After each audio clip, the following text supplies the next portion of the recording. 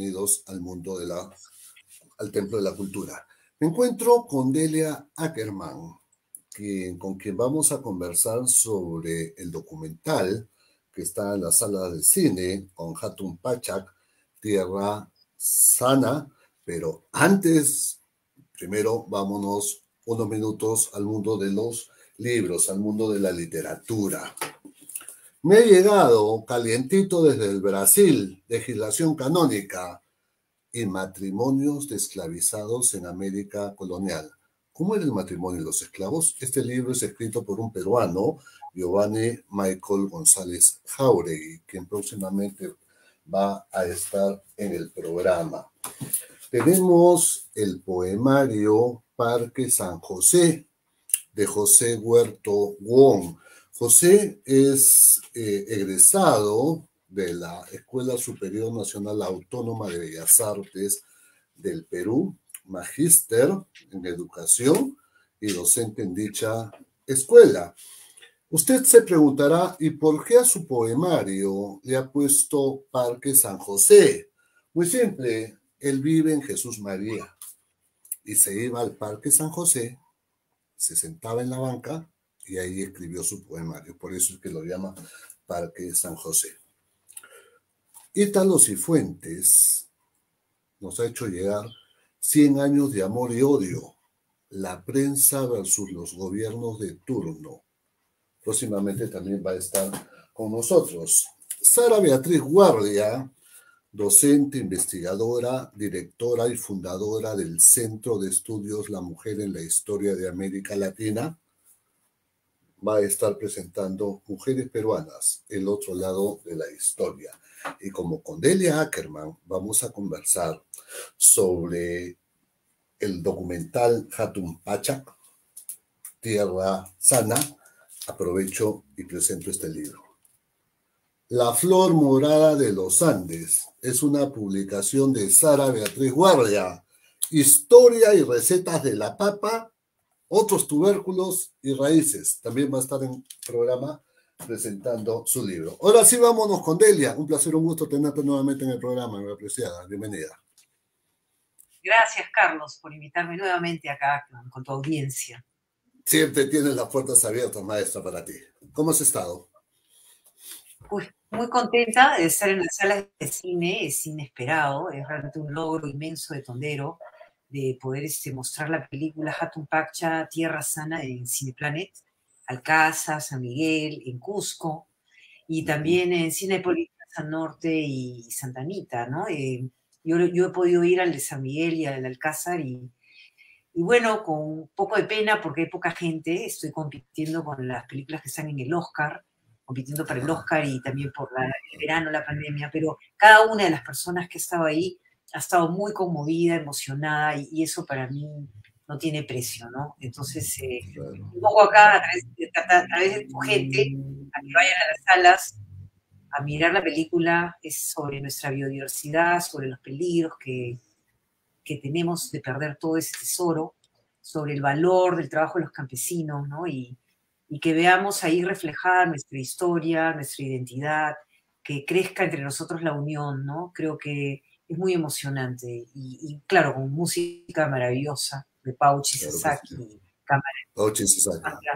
sí, vayan al cine. Claro. Contenta por esa etapa. Y bueno, las otras las otras novedades son que también estoy siendo invitada a, varios conversatorios interesantes, uno con Columbia University, porque, bueno, además de la Universidad de Lima, que es mi alma mater, mi primera alma mater, porque yo estudié ahí y son ellos mis productores de la película, quien agradezco enormemente el pues. apoyo y la coproducción. También es Columbia University, entonces me están invitando a conversar con ellos y con gente especializada en medio ambiente.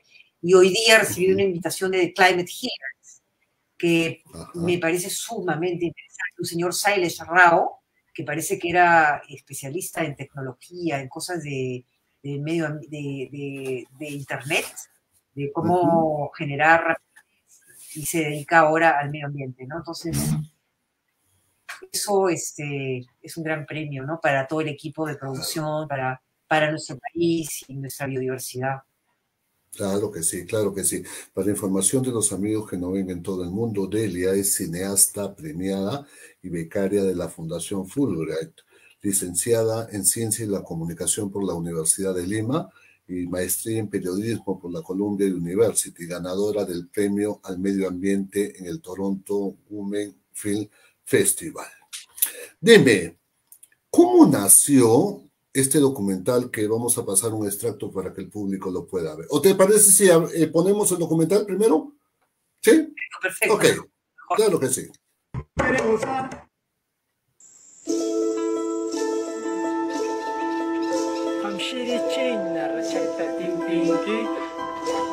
El Perú es un país mega diverso. Por ser de montañas y por ser tropical.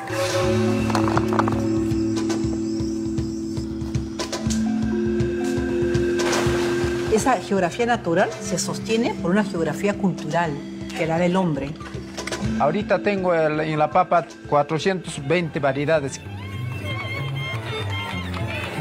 El Perú es una fuente interesantísima de una amplia variedad que no se debe perder. Eh, yo dedico a la chacra conservacionista soy de colores, de colores de la quinoa. Ahora tengo 120 colores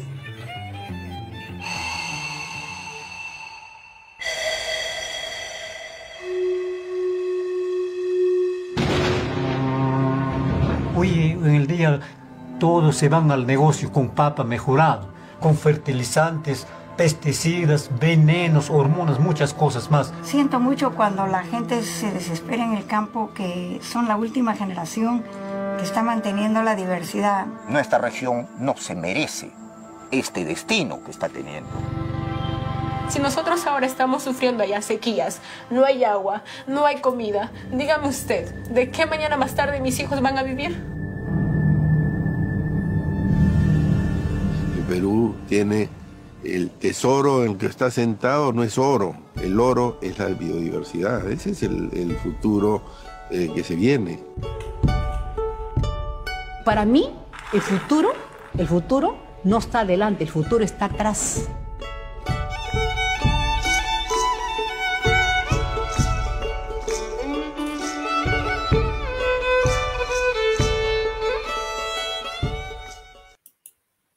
Delia, ¿cómo nació la idea? La idea nació por un enamoramiento hacia estos productos increíbles con tanto valor nutritivo y, el asombro que me daba que más este, investigaba y más encontraba, encontraba mayor cantidad de, nuevos productos y, el desconocimiento general ¿no? sobre estos productos. Y entonces eh, empecé con la idea de, de yo misma consumirlo con mi vecino, que en el momento era actor, este, el actor Giovanni Siccia, y hacer un corto. Y fue, fui profundizando, el proyecto fue creciendo y ya se volvió un, tema mucho más responsable que tiene que ver con la preservación de estos alimentos y de la cultura milenaria atrás de estos alimentos que han sido domesticados y, y cultivados y cuidados, preservados, y que ahora la ciencia admira tanto, pero que se puede perder.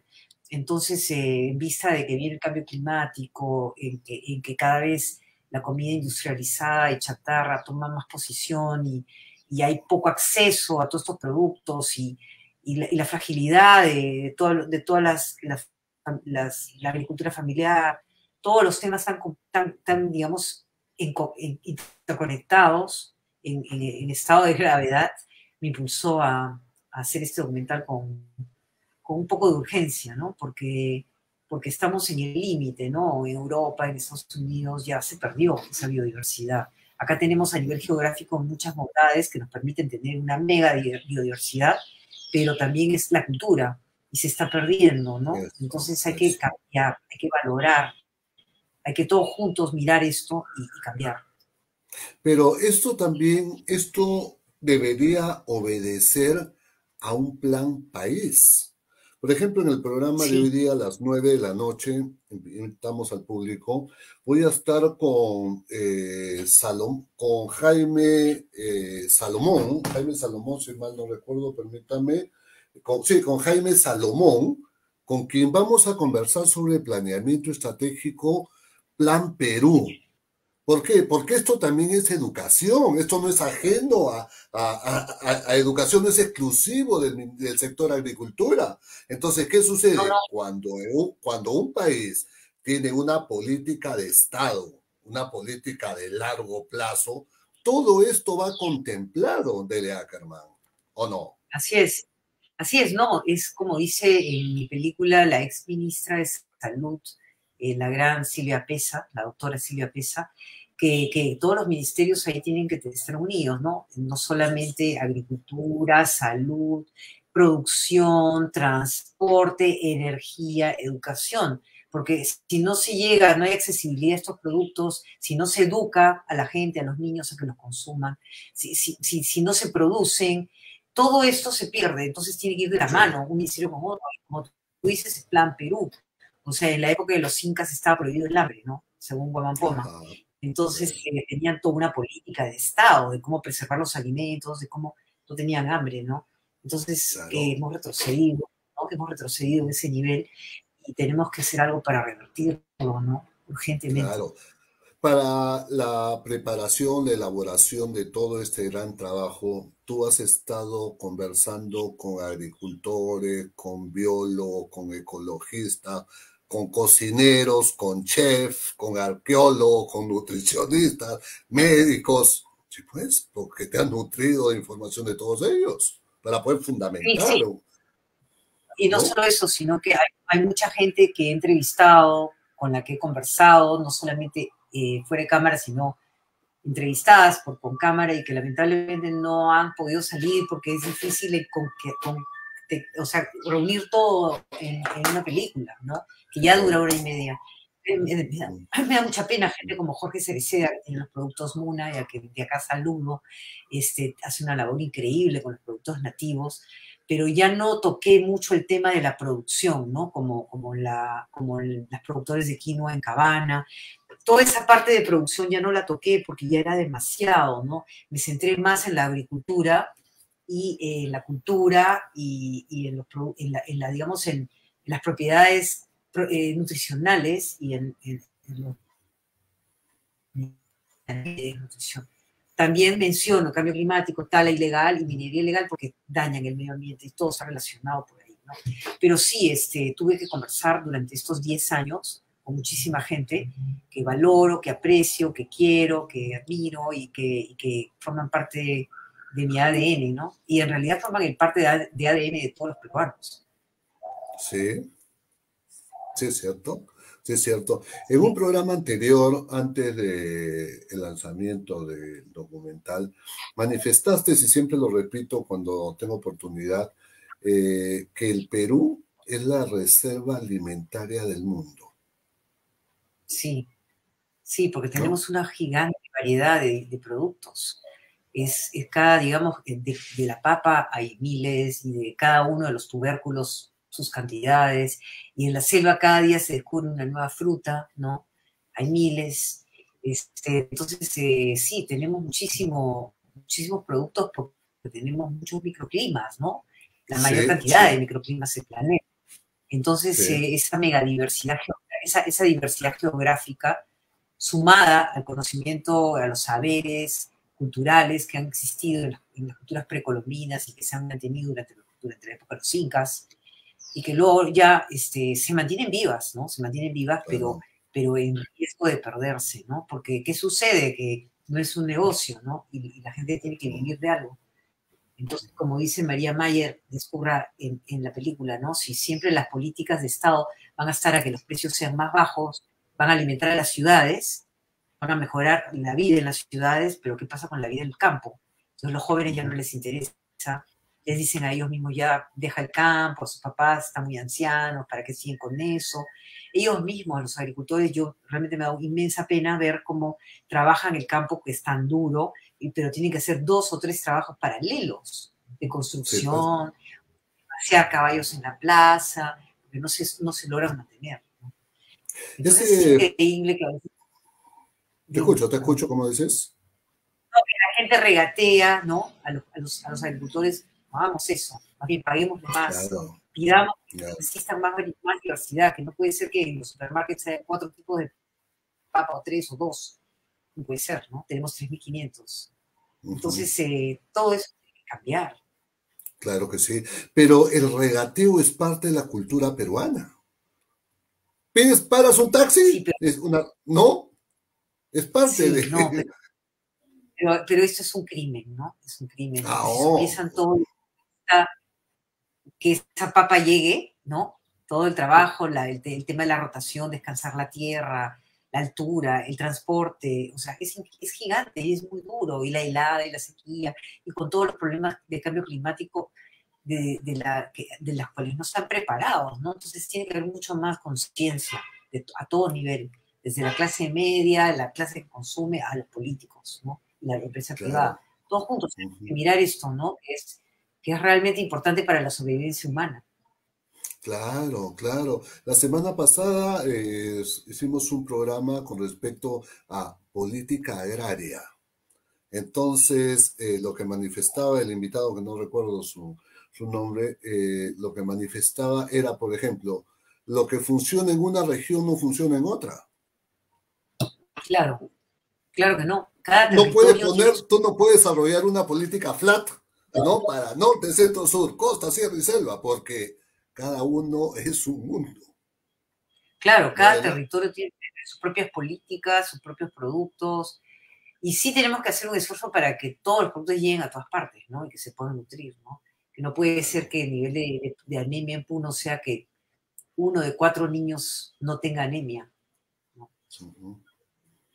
Entonces, eso, todo eso, claro, es un tema cultural, es un tema de qué cosa se consume en cada lugar y aprender a consumir la variedad, pero también de que exista la accesibilidad de esos productos y que se, digamos, que se pueda producir lo que el territorio eh, puede producir, ¿no? Porque cada piso tiene un nivel, digamos, de, producción distinto, distintos productos y distintas variedades, y, y por eso que, que, digamos, la biodiversidad es tan importante para la sobrevivencia en el cambio climático, ¿no?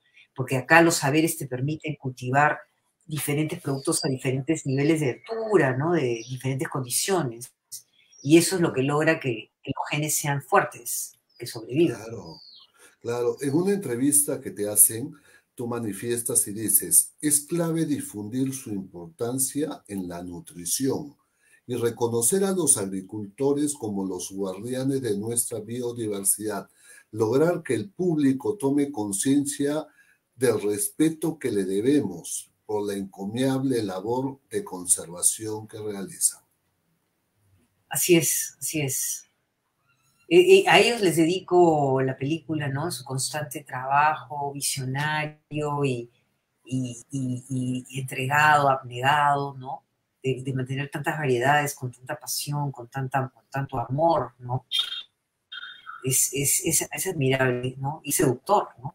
Es seductor. Por eso creo que la gente cuando ves la película en la pantalla se mueren realmente de emoción, porque ahí tú estás reconociendo, ¿no? El trabajo que tienen, el, el amor que, que, que, te, que, te, contagia, ¿no? La emoción con sus propias variedades de quinoa, ¿no? O de papa, o, o, de todas las cosas que hay, ¿no? Es bellísimo.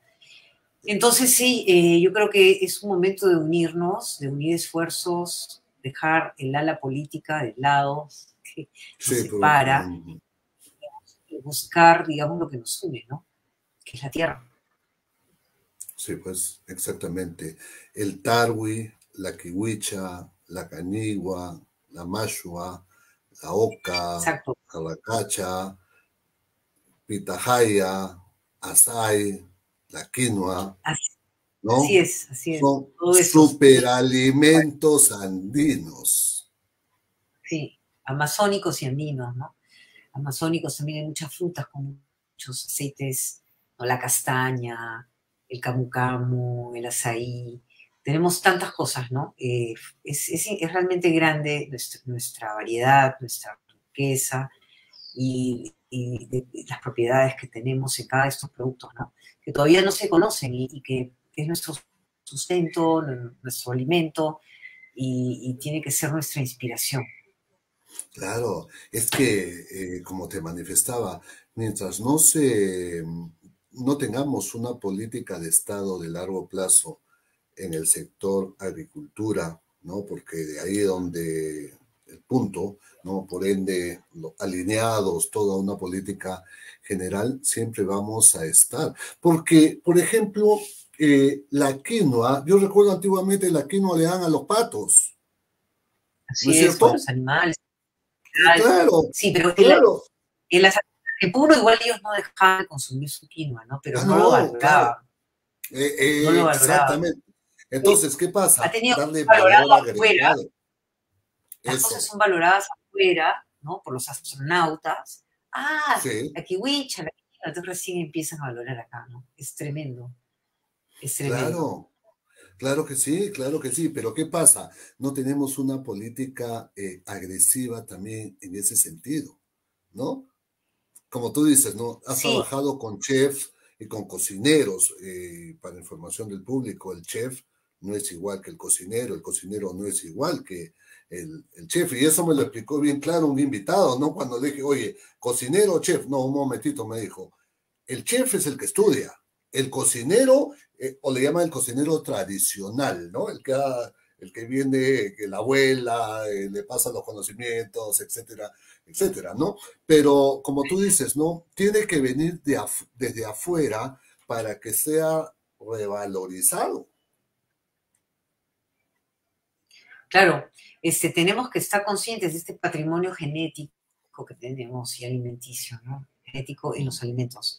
Y, disfrutarlo.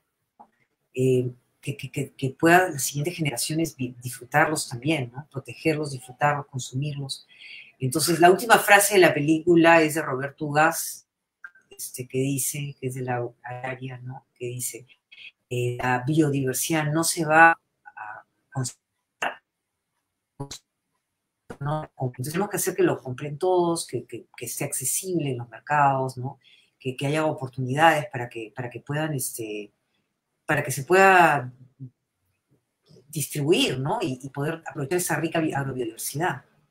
Claro que y sí, se claro que sí. Se ha revertido, ¿no? En, digamos, en bienestar para las familias que lo cultivan desde, desde origen, desde, desde, desde milenios, ¿no? Porque dicen que la agricultura acá empezó no sé si hace 8.000 o 10.000 años. Entonces imagínate, ¿no? Cuánto tenemos de, historia, ¿no? A puertas del bicentenario, yo creo que eso es lo más importante.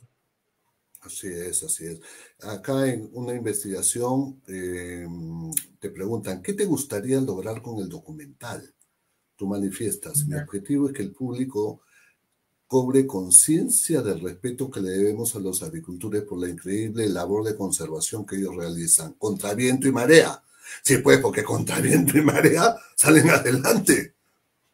Así es, eso, y también que cambie nuestra forma de alimentarnos. ¿no? Acá tengo una frase, la película que cambiará nuestra forma de alimentarnos, preservando la extraordinaria diversidad de nuestros superalimentos nativos. O sea, nosotros también nos vamos a beneficiar cambiando que cambie la, digamos, la vida, trascender, digamos, de, junto con ellos, ¿no? Preservando estos alimentos. Claro que sí, claro que sí. Pero dime una cosa, eh, si tú le preguntas a alguien, oye, ¿cómo se prepara la mashua? Mm, con la oca, ¿qué puedo hacer? Claro, nosotros sabemos que con la quinoa podemos hacer soufflé de quinoa, puré, en, cosas podemos consumirla. Pero, por ejemplo, con respecto pues a la eh, pitajaya, a la arracaya, ¿por qué? Porque también es una cuestión educativa. ¿No es cierto? Claro que sí, sí. O sea, ¿cómo, cómo a ver, por ejemplo, la, con la kiwicha, ¿qué puedo hacer? ¿Cómo la... Un, un, un, un ¿qué te digo? Un, libro... Budines, este la kiwicha yo la tomo en desayuno, ¿no? Es riquísima. Eh, eh, claro. como que si fuera avena, ¿no? tiene muchas propiedades y también puede ser licuado, sopa en budines, o sea, hay, hay dulce, salado. La malla puede ser en ensaladas, en las hojas, y, también cocidas, en, purés. Eh, la racacha ni te cuento, ¿no? el puré de racacha es la cosa más rica que existe. No sé si no lo Por ejemplo, yo no lo he probado. Yo no lo he probado. Tú dices, no, claro, muchos dirán, sí, que es riquísimo, otro dirá, pero. Mm, ¿Por qué? Porque también es una cuestión de difusión. es, una cuestión de marketing. Papa y yuca, pero. Claro, y, y también de, de iniciativa propia, porque ya si el marketing no nos ayuda, uno mismo tiene que ponerle la su escuchen, vayan a ver la película, que de repente se, se inspiran en, en consumir todas esas ricas cosas a nivel nutritivo y a nivel de sabores. Porque bueno, imagínate, tarwi tiene creo que 44% de proteína, el, tiene el nivel proteico más alto, además de fósforo y una serie de hierro, este, y, y, este, es deliciosa, ¿no? El ceviche de tarwi es riquísimo. Es absolutamente... Ay, lo único difícil es que es amargo y hay que tener un proceso largo de quitarle agua. No Claro. dura, o sea que hay que mirar cuántas veces lo vas lavando, pero es riquísimo. Claro, claro que sí. Dime, el documental, por su... Espérate, la señal de internet parece que se intercorta, entrecorta. ¿Me escuchas? ¿Me escuchas bien, Delia? Sí, sí, sí, Ok, te escucho perfecto yo. Sí. Oh, oh, ya, ya, ya. Ok, dime una cosa, ¿y por dónde has viajado para haber hecho, llevar a cabo ese documental? ¿Por dónde no te has metido, Delia Ackerman? Bueno, el primer viaje fue a los Yauyos, y Ya oyos. a fue a Laraos, he ido a Cayo, a Hilo, a Moquegua, a Ayacucho, a Junín, a Madre de Dios, a Iquitos, a Tumbes, a Piura. He ido a San Madre de Dios, Cusco. Y sí, yo creo que esos son todos los sitios a los que he ido, ¿no? Eh, digamos que no todo sale en la película. Sale Iquitos, Madre de Dios, Puno, Cusco, Piura, Hilo, Moquegua, eh, Ancash. ¿Huánuco? Y ¿Huánuco? Huánuco, Huánuco, exacto.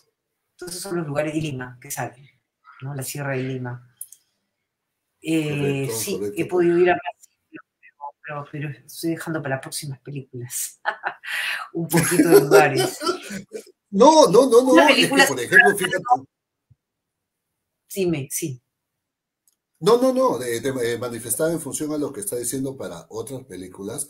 ¿Por qué? Porque empiezas, la madeja empieza a, a irse, el hilo empieza a irse estirando. ¿Por qué? Porque, como te decía, ¿no? Esto es algo interesante, eh, educativo. Claro, despiertas conciencia, es educativo, tiene que venir otro. ¿Por qué? Porque a la gente hay que irla concientizando ¿no? Concientizando por el respeto a la biodiversidad, eh, al, al- al- los empresarios, es decir, ¿no? El, el comprendimiento del enfoque participativo de las cadenas productivas, no puede ser que el agricultor, el último de la cadena, sea el, más pobre, el que menos gane, y el, el que está por acá se lleva la gran parte de la torta. ¿Por, por qué? Porque también es todo un trabajo de difusión. Claro, has dado el inicio, Lely Ackerman. Ahora, que vengan todas las políticas que vengan.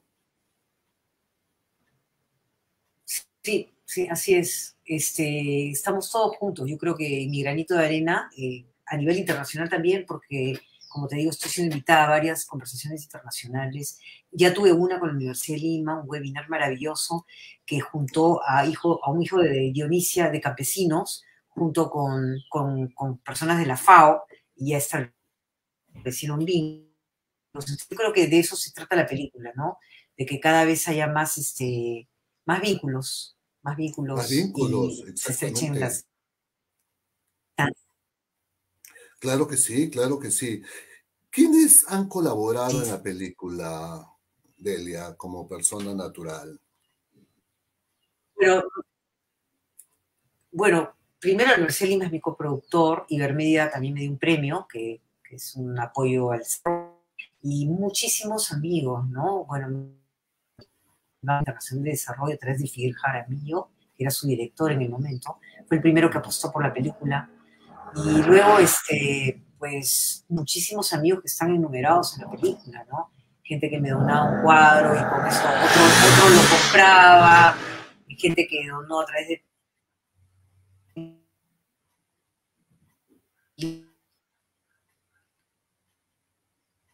¿no?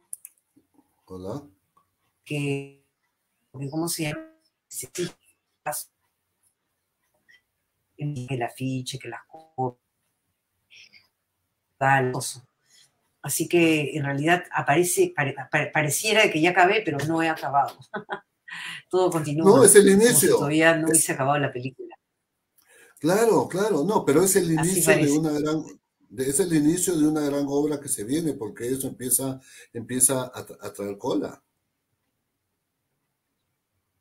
Delia, Así parece, así parece. Sí, di- así dime una parece. cosa, dime una cosa. Sí, te escucho, te escucho. No, no, no. Sí, no, te escucho yo. Dime, ok, y las, las organizaciones que han colaborado, restaurantes,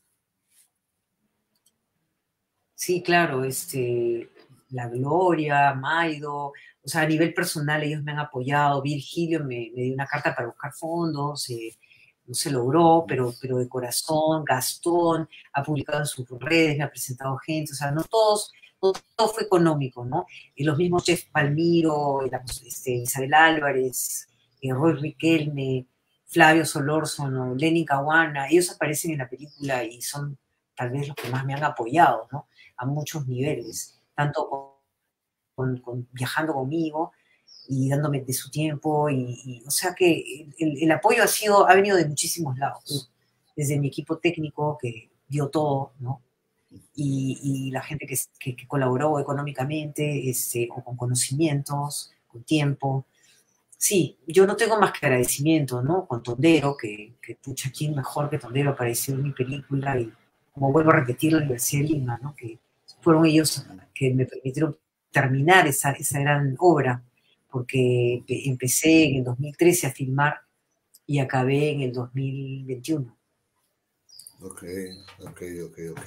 Dime, eh, durante la producción de la película y todo, han ha habido momentos tensos, como sucede, ¿no? Sí, sí, Con claro, cólera, claro. lágrimas, como también divertido.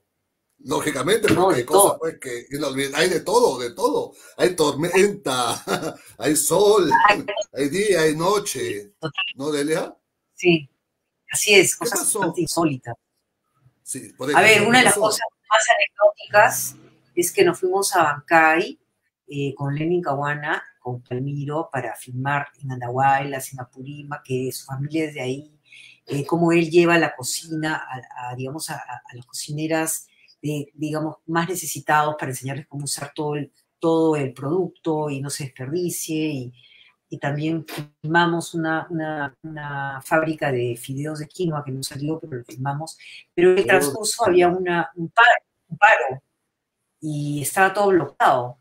No podíamos hacer nada, estábamos en una van bloqueados, pero el papá de Lenin Caguana, que a ver si me escucha, que es el chef que sale ahí también, el cocinero que sale de Apurímac ahí, que trabaja, trabajaba con Palmiro también con Hambre Cero, era eh, un dirigente del, del paro, de, de- de los obreros. Entonces, Ah, caramba, ya. todo entonces parecía como, como los el agua de, de Moisés que abría las aguas y nos dejaban sí, sí, pasar sí. entre las piedras, y nosotros pasamos, ¿no? Eso, eso provocaba filmarlo, pero era peligroso, así que no lo, no lo filmamos. Y maravilloso, eso fue increíble. Y luego doloroso ver cómo, por ejemplo, en Pampa- Pamparromás, en, Ancash, este, eh, tienen el tarwi ahí, pero no lo, pueden, no lo podían comer porque los ríos están contaminados. O entrevistar a Catherine Saavedra, directora, eh, dirigente de una comunidad Yine, la comunidad Santa Teresita en Madre de Dios, contando cómo el agua está contaminada por la minería ilegal y por la ganadería que está cerca y que se muere un ganado y ese agua es el que tienen que tomar. Todos esos temas eran muy fuertes y dolorosos. A la vez, igual nos hemos divertido, hemos estado muy juntos, hemos, nos hemos emocionado, hemos estado en lugares paradisíacos, en Madre de Dios, en, en- en- en la Sierra, ¿no? en Ancash. O sea que ha sido, ha sido muy variada la, la- digamos, la, la cantidad de aventuras y historias, ¿no? De conocernos más, porque cuando tú grabas con un equipo, aunque van variando algunos camarógrafos, algunos vienen, otros van, es, es, es una, es una relación de familia, ¿no? Todos estamos por el, por el objetivo de, de poder traducir esa belleza o esas cosas importantes al mundo y al Perú, al mundo, a todos. Y, y hay mucha, hay mucha, eh, mucha unión, ¿no?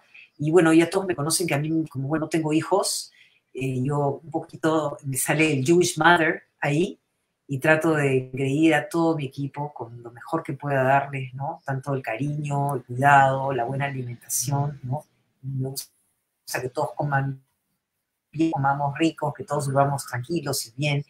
Entonces eso, eso creo que también se siente en, en la película. O sea, no ha habido no ha habido tensión en nosotros, sí tristeza de ver la realidad o Claro, aventuras, claro, o- claro. Pero mucha unión en nosotros, ¿no? En- como, como equipo. ¿no? Y bueno, lo Claro. más duro fue perder a Arciniega, que, que fue el editor y, y empezó el proyecto desde el inicio conmigo, porque cuando uno edita la película, ¿no? Después estuvo José Luis Jiménez principalmente y también Bernardo Cáceres, terminaron la película y a Javier no la vio, pero gran parte de la edición es suya y, y no solo la edición, él hizo sonidos, él hizo sonido, él hizo eh, eh, producción, él hizo muchas cosas, ¿no? Entonces, eh, nada, pues emocionante, emocionante que la, la- ojalá la vea desde donde esté, si existe la vida más allá, porque la película es, es bien emocionante porque termina con su voz, ¿no? Dice, un, dos, tres, silencio, está haciendo un, dos, tres, y la- el texto dice, sin ti, a Javier Arcinia, sin ti, esta película no existiría, no existiría, y luego a mi papá, ¿no? Que también murió, Harold Ackerman, ¿no? también le dedico la Claro, claro. Entonces, Todos claro, son actores. Todos son actores, tú lo has dicho. Todos son actores. Exactamente. Vamos con algunos comentarios. Meche Dongo. Eh, justo Dongo, gracias por seguir el programa. Saludos de eh, San Francisco, California. Nos escribe Carlos Hernández. Saludos desde El Salvador. Eh, nos Genial. manifiesta Meche. Es una información necesaria, educación para todos, un tema importante para el futuro. Dime, Delia, si decides una política agresiva, esto tiene que llegar pues a las altas esferas de gobierno también. Así es. Así es. Eh, una de las perso- personas que actualmente es viceministra de Turismo, Isabel Álvarez, está en, en el documental, ¿no? Ella eh, se conmovió mucho, lo vio conmigo recién el sábado y le gustó mucho. Y, y bueno, también recibí la llamada de la viceministra de, de Cultura, eh, Sonali Tuesta, que también se interesó. Ahora, para mí sería muy importante que el Ministerio de Educación se interese, ¿no? Entonces, no sé, poco a poco creer, creer en que esto, digamos, la pasada de voz es lo más importante, porque Eso. no fue mucha gente, como te digo, al cine, y para un cineasta eso es doloroso, ¿no? Pero eh, cada una de las personas que fue quedó conmovida y, con ganas de contárselas a otros, entonces tal vez poco a poco eh, vaya creciendo el público y, y va- vayan a llenar las salas que quedan, no sé si dos días Así o más, es. pero por lo menos hasta el miércoles Claro. está. Cla- Claro que sí, claro que sí. Te voy a, mm, a ponerte en contacto, ¿no? Con eh, médicos del Instituto Nacional de Enfermedades Neoplásicas, ¿no? Porque, por ejemplo, hoy día a las 7 de la noche, luego de ti va a estar eh, Sabi Mauricio, nutricionista oncóloga justamente del INEN, porque parece mentira, todo eso suma. O sea, nutrición Claro sí, oncológica y nutrición a- no a- a- oncológica, ¿no? ¿No? Es, Oncológica y no comía- oncológica. Exacto, yo ella estuvo en mi casa y conversamos del tema y interés era también entrevistarla, solo que al final solo tuve una nutricionista, ya no me, ya no pude entrevistar a otra que hubiese sido principalmente Sabi. ¿Quién mejor que ella? Sabi Mauricio es maravillosa, sabe tanto, de acá mi saludo para ella mis respetos y espero que en la próxima película que haga aparezca. Claro, claro, vamos a ponerte en contacto con Tatiana Vidaurre, que fue directora del ENEN también, ¿no? Porque todo- todos son actores que tienen que empezar a sumar la recomendación. Por eso te decía, ¿no? Has tirado la primera piedra, ya la madeja empieza, el hilo empieza a estirarse porque así tiene que ser. Dele a, dele a Ackerman. ¿O no crees, te maestro? agradezco, Fernando, te agradezco, te agradezco mucho porque son esas la- las, tus palabras este, que, que lleguen a la gente y que, y que, nada, que, haga crecer el interés, ¿no? Por estos productos que, se pueden perder, por esa cultura que se está perdiendo, ¿no? Cuando hay un millón de hectáreas creo, de, de andenes, pero la mayoría no están cultivados, ¿no? Entonces hay mucho por hacer. A, a diferencia de otros países donde ya no hay nada que hacer, ¿no? Porque ya se perdió todo. Acá todavía hay mucho por hacer. Exactamente, exactamente. Dime, pero tu experiencia en las películas anteriores te sirvió para esto, ¿eh? Sí, sí, mira, eh, tú me hablas de Patricia Flowers. eh, Yo hice un documental sobre el holocausto que se llama Volviendo a la Luz. Hice dos, uno que se llama Buscando la Luz y otro Volviendo a la Luz, una versión más corta de la, y otra versión larga. Y, y ahí la idea del documental era que los sobrevivientes fueran héroes de la película, ¿no? Y en eso se parece a esta película, que no son víctimas, ¿no? Que los agricultores y los sobrevivientes del holocausto no son víctimas, son héroes, ¿no? No Entonces yo víctimas. creo que esa son héroes. Entonces esa mirada eh, se mantuvo en ese documental y creo que de todas mis películas esas dos son las más importantes, ¿no? Yo siempre decía, este, bueno, cuando me estaba muriendo en el mar, en, en Villa, que me estaba ahogando, no- de hecho no he hecho nada en la vida, no he hecho ni una película ni un hijo. No hice hijos, pero acabé mi primera película, Señor de Pachacamac, y después hice otras, pero cuando acabé la película de Volviendo a la Luz sentí que me podía morir tranquila, pero en realidad felizmente no me, no me fui, porque esta película también... No era tu hora tampoco, no era tu hora. no, no era mi hora antes de hacer Señor de Pachacamac, pero también volviendo a la luz, yo sentí una especie de paz interior de que había hecho algo importante porque estas personas no habían sido registradas, escuchadas, ¿no? Era la primera vez que hablaban, porque creían que no, ellos creían que no, lo- no les iban a creer tanto dolor, tanto sufrimiento. Entonces sí, me sirvió muchísimo, ¿no? Eh, porque el, el darme cuenta que hacer un documental es una responsabilidad muy grande que yo he asumido y que otra gente como yo, que, que, que felizmente cada vez hay más gente interesada en el documental, en hacer documentales, porque es muy importante, más allá de registrar la historia, ¿no? Siempre digo, qué lindo sería poder escuchar a Chopin tocando Chopin o a, la- a los hombres paraca enterrando a sus muertos, ¿no? Que cuánto, cuánto- viendo cómo entierran con esos mantos, ¿no? Vivos de colores y, y no, no, no había pues en ese momento cámaras, ¿no? Pero ahora las hay Claro. y, y, este, es es súper, súper importante, ¿no? Contar, registrar y, y darles el, el sitio de, de honor que se merece toda esta gente que son los patriotas, que son los héroes, que, que tienen tanto que contar, ¿no? Tanto testimonio, tanto vivido y tanto que nos pueden enseñar. Claro que sí. Tú le dedicas a los campesinos como héroes y guardianes de la biodiversidad. Así es, en homenaje a ellos, esta película. Claro, claro. Dime, Delia, ¿este documental va a ir en alemán, va a ir en inglés? Mira, eh, ya se tradujo al hebreo, porque lo mostraron Al hebreo, ya. Y lo tradujeron ellos al hebreo. Yo lo traduje al inglés y al quechua y al francés. En inglés y en francés está nada más nada menos que María Medeiros, la gran actriz, eh, hablando con su voz. Y en quechua Iris Cárdenas, que, que lee las noticias en el 7, muy linda voz. Y, y espero que llegue a las comunidades andinas en quechua.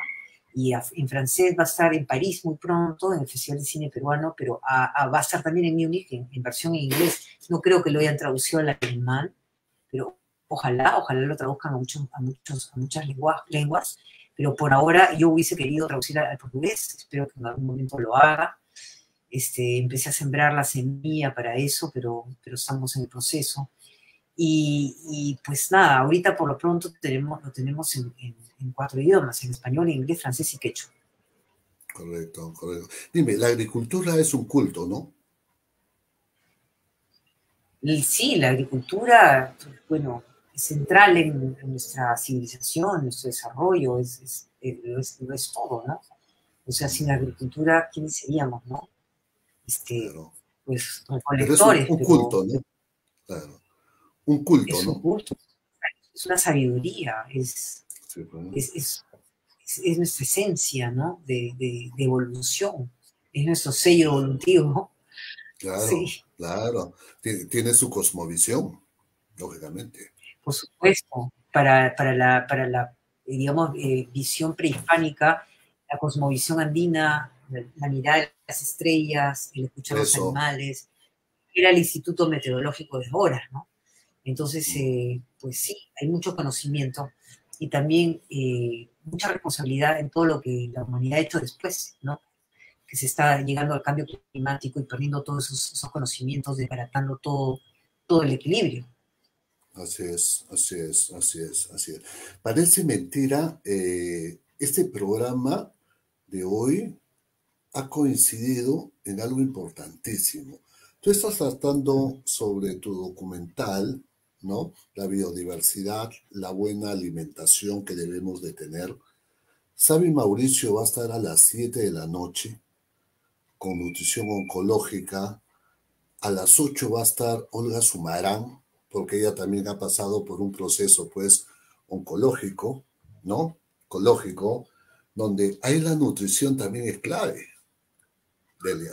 Claro, la nutrición es clave para la salud y para la vida, ¿no? Así es, así O sea, es, así es. si, lo- si lo- las políticas son de apoyar productos industrializados, productos chatarra, que nos enferman, y, y- y, digamos todos los pesticidas que se ponen en la Eso. tierra para los monocultivos, ¿qué cosa nos espera, no? Pues Claro. porque eso repercute en la cáncer, en la salud. en- Así es, la así es, así es. Claro. Es- es- Y es una señal de, de alarma, de alerta que, de que alarma. que- sí, Así es. Así es. Dime, eh, Delia, para ir culminando, ¿vas a escribir un libro? no, no, mira, tú sabes que yo No digas no, Caritas. no, no, no digas no, Que yo porque tú no sabes que...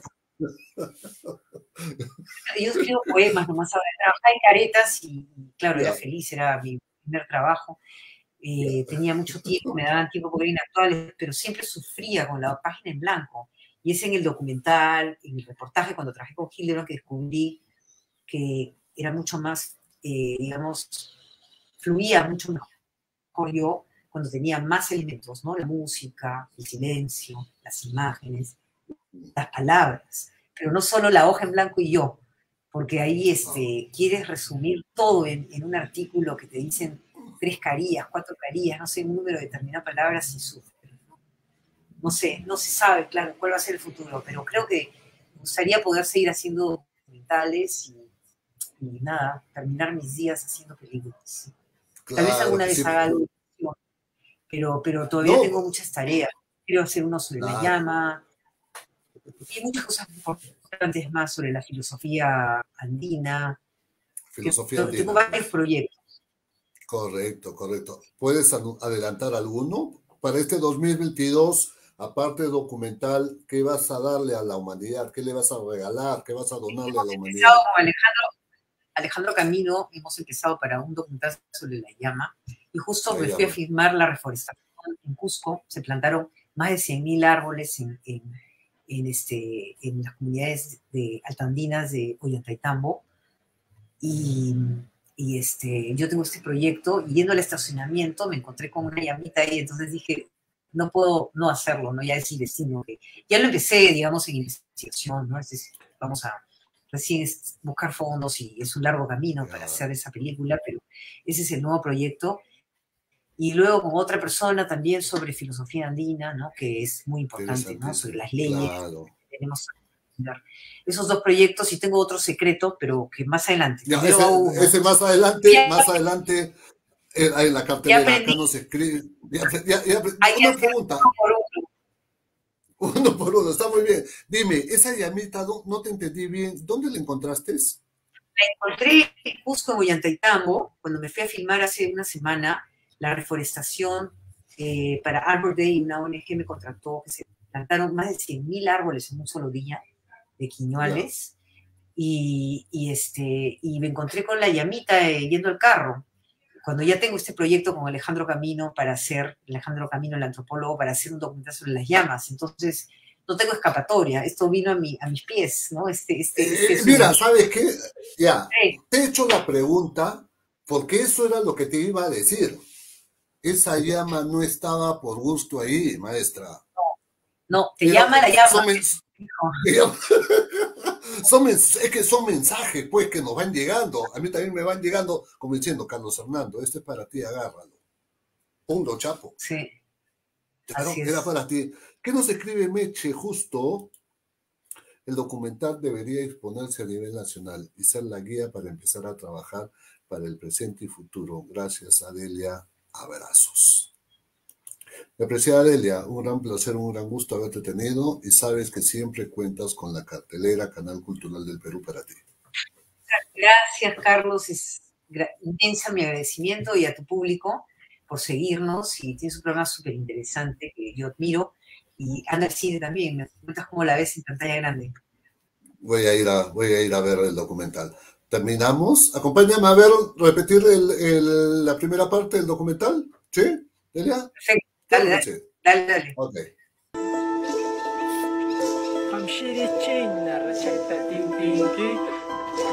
El Perú es un país mega diverso. Por ser de montañas y por ser tropical.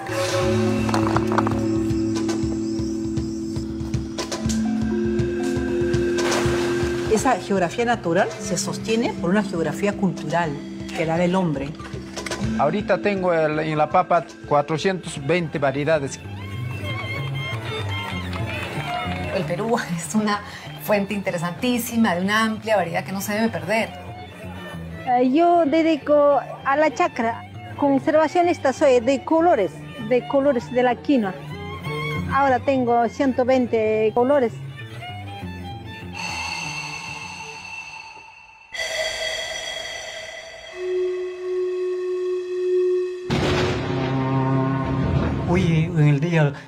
Todos se van al negocio con papa mejorado con fertilizantes, pesticidas, venenos, hormonas, muchas cosas más. Siento mucho cuando la gente se desespera en el campo que son la última generación que está manteniendo la diversidad. Nuestra región no se merece este destino que está teniendo.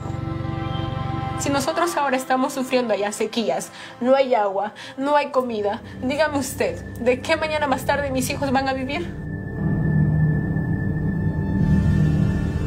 Perú tiene el tesoro en el que está sentado, no es oro, el oro es la biodiversidad, ese es el, futuro eh, que se viene. Para mí, el futuro, el futuro no está adelante, el futuro está atrás.